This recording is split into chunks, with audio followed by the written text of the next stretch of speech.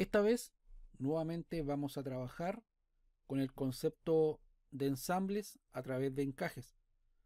Pero el encaje en esta oportunidad va a ser de media madera, que es muy común verlo en la carpintería, en muebles o en juguetes de ensamble que se venden en el comercio. Acá solamente voy a enseñar el concepto, muy sencillo. Entonces, un croquis o un sketch sobre la vista superior. Punto central.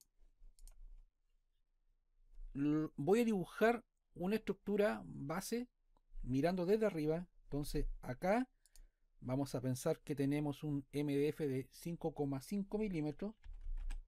Entonces, marcamos ahí 5,5, enter. Y el largo, marcamos esa, esa cota, 200 milímetros.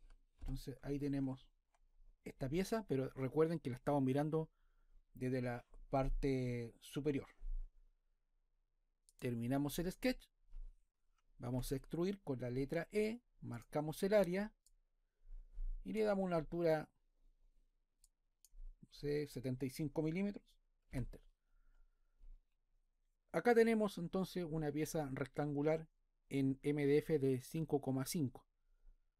Vamos a crear un corte o un regulado a media madera. Entonces, marco un sketch, selecciono una cara con la herramienta de rectángulo de dos puntos, a diferencia de la central, me ubico acá abajo, pincho y arrastro con la letra D, rectificamos las medidas, en este caso tiene que ser 5,5, la altura vamos a dejarlo a la mitad, que es muy común que ocurra, entonces no recuerdo la medida que acá fue, con la letra de inspeccionar, ahí se ve 75, entonces aquí pinchamos y podemos colocar 75 digo por 2 y ahí te da la medida 37,5 ahora si yo quisiera acotar la distancia que hay acá del ranurado o del sketch del ranurado a un borde nuevamente con la letra D pincho un borde pincho acá y ahí tendríamos 39 yo lo voy a dejar a 20 termino el sketch letra E selecciono el área y genero un corte.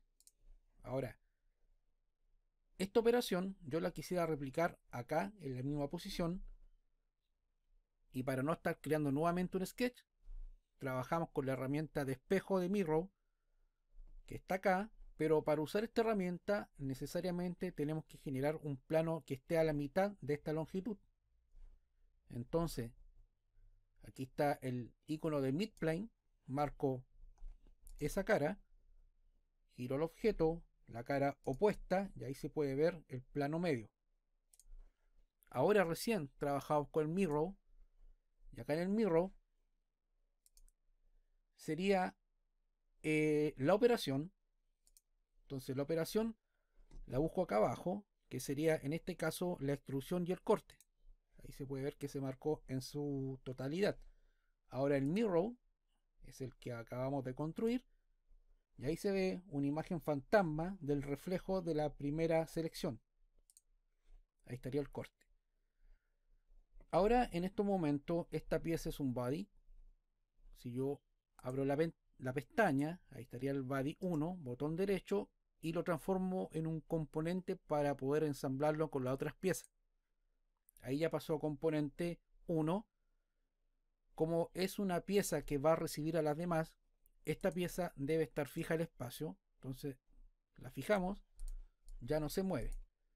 Ahora vamos a crear otra pieza acá que se va a encajar sobre este ranurado. Entonces, acá arriba, botón derecho, creo un nuevo componente, va a ser el componente 2, creo un sketch y el sketch podría estar en el origen, en cualquier plano, porque después lo podríamos girar, podría estar sobre esa cara o esa cara. Yo voy a trabajar sobre esta cara. Ahí estoy mirando de frente esta pieza. Pincho. Y arrastramos hacia acá. Letra D, aquí debería haber 75, ok.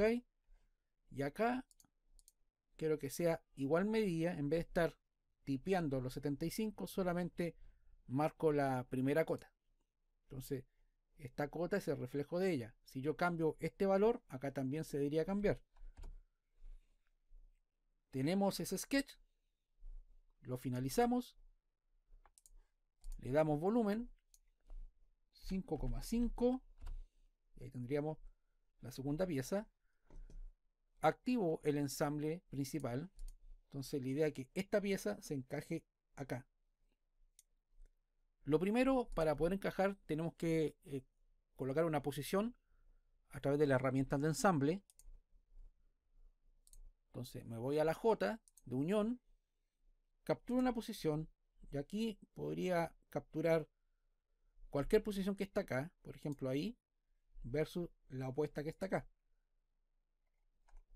Ahí está en posición 0. Si yo con la flecha que estoy marcando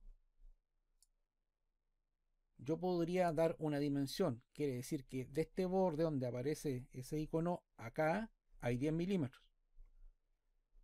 Y está en formato rígido. Pero a pesar que tenemos ya la posición capturada, esto no se mueve, esto tampoco, eh, no existe todavía el corte a media madera. Entonces, por ejemplo, el componente principal, yo lo apago, sobre esta pieza debería haber un ranurado.